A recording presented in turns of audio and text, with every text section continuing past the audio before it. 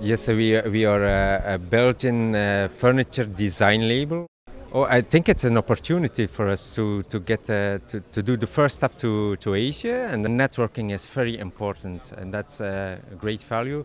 The networking here in Singapore and also the networking between the participants is also very important. Here in Singapore, yes, uh, we have nice reactions. So uh, I see that, that, there are a lot of uh, architects and shops who are already involved with modern furniture. I have a good feeling about this. Uh, I see that the society here in, in, Singapore is open for this high-end contemporary design. We uh, already met uh, a lot of interesting architects here, so I think it will be good. Yeah.